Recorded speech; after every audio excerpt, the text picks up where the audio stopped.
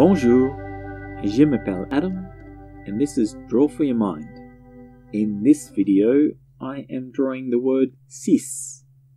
And to give you a hint what six means, it's a number. I'm drawing cis characters. All of them are sisters. The reason I am drawing sisters is that it will help me remember the word six. I don't know about other countries, but at least here in good old Australia, we do call our sisters cis. I do not have cis sisters though. Six is one of those words that change when it is in front of a vowel or a muted H. So it would be cis elephant instead of cis elephant. Six has that z sound. Cis elephant xylophone.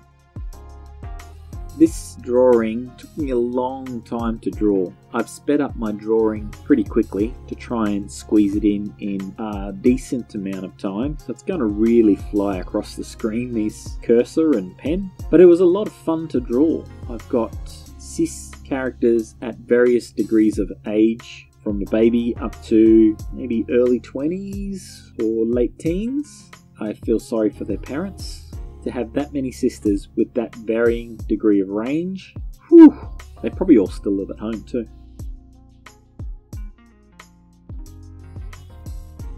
I did have a couple of little errors that I've had to fix up on the picture, but I think it came out alright.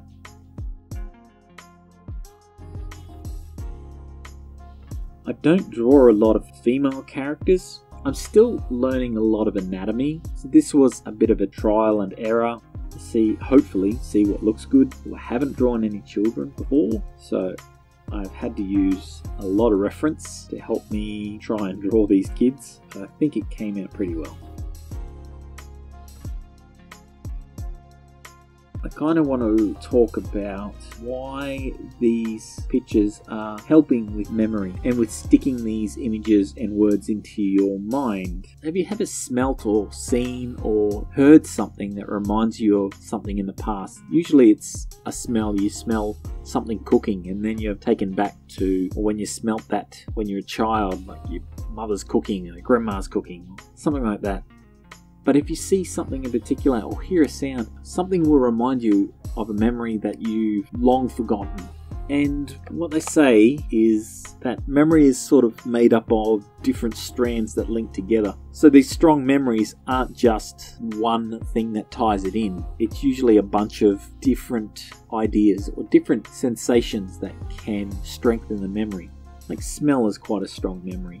But you experience the smell and then you experience the location and everything that sort of happens around that the smell, the sight. You remember where you were, the space that you were in. I remember my grandmother's place, and she would make these biscuits, or for you Americans, a cookie.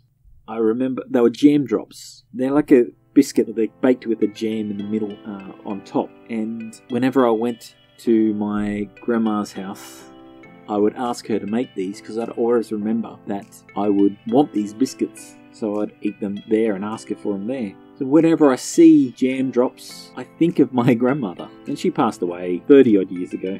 And I still think of that. I still think of the biscuits and asking grandma to make them and the house where I would visit, which brings back other memories the point I'm trying to make is that certain stimuli can bring back a flood of information. So, trying to draw a picture for me helps stimulate the emotion. I might remember when I see this picture of me drawing it and what issues I had trouble with it, or the time that I drew, or things like that. But if not, I might look at it and think, you know, oh, there's a bunch of sisters. I might start thinking, my sister, but seeing the numbers as well, stimulating uh, different memories, different things that evolve in the memory will help keep it all together.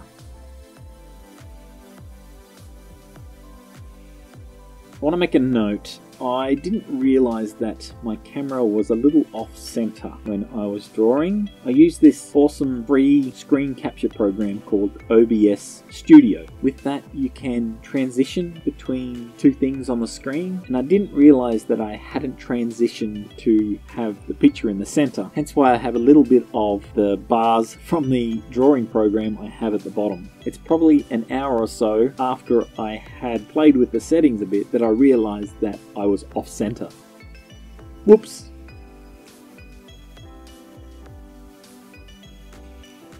this word, six, it's not a hard one, and I do know this word pretty well. I can count the French numbers 1, 2, 3, 4, 5, 6, 7, 8, 9, 10. It's not a word that I need to memorize as much. I kind of just felt like drawing something cool, and I'll add this to my flashcards so when it pops up, I can remember sis, sister, and numbers. It's just kind of fun. And that's another thing to help with memory is fun. If you make it fun, you want to do it. I enjoy the drawing and it makes it fun for me. It makes it much more fun to learn a language, but it doesn't have to be you drawing a picture all the time. As I mentioned, you can use these pictures if you want to. If you have this picture and for you it doesn't remind you of sis at all, maybe it actually reminds you of the French word for sister, which is sœur. That one's going to be a tricky one to draw. You might see this as being sœur.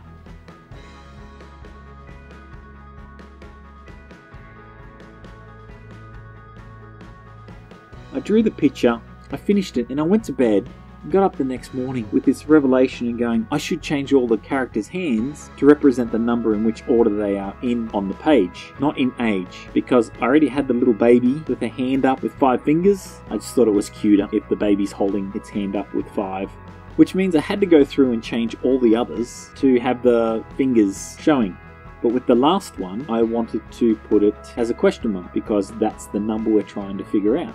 So the picture represents 1, 2, 3, Quatre cinq. And what's the last one?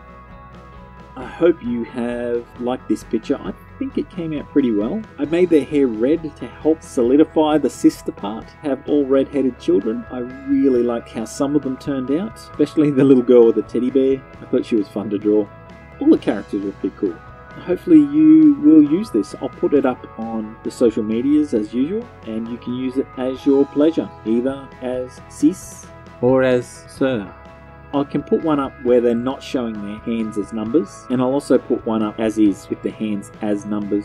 You can find them on Twitter, Facebook, and Instagram. Come along, join in, leave some comments if you like. Put some comments at the bottom of this if you enjoyed it, or if you didn't, or if there's something you'd like me to draw, which would help you remember a French word. If there's um, something in particular, I would enjoy drawing it. Trying to come up with ideas on how to get the sound and the meaning to combine into one picture is very challenging.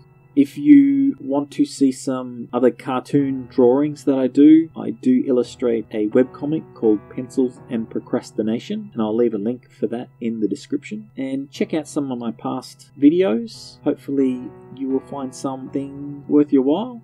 But for now, keep drawing, keep learning, and have fun. Au revoir.